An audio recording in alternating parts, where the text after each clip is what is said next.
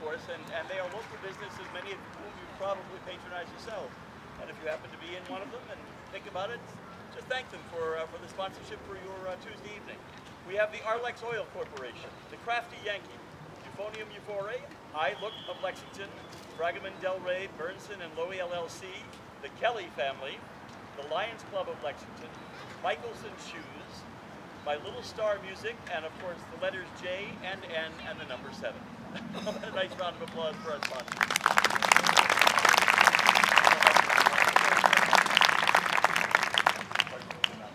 Um, as we close the first half of our concert here, before we head intermission, this is a traditional place where we invite anybody at all who is so inclined to come up and take a stroll around the bandstand with us. We're going to do uh, the uh, OR Farrar's Bombasto March.